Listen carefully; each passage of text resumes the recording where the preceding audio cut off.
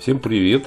Продолжаем рассматривать картины. Питер Пауль Рубинс. Четыре части света. Холст масла 209 на 284. Написано в 1615 году. Питер Пауль Рубинс в своих произведениях часто обращался к насказательным мотивам в духе античной мифологии. Фламандский художник изобразил персонификации известных в то время земных континентов, которые сопровождают воплощение протекающих по их территории рек. Согласно латинским названиям и древнеримской традиции, части света олицетворяют женские фигуры, а реки мужские. Перевернутые урны являются атрибутами древних богов, обитавших в реках. Четыре континента – Африка, Азия, Европа, Америка. Это речные божества показаны отдыхающими под пологом, окруженные вниманием многих женщин. Тигрица представляет реку Тигр, а Пути играет с крокодилом, символом Нила. Ну, вот такое краткое описание картины «Четыре части света» Питера Пауля Рубинса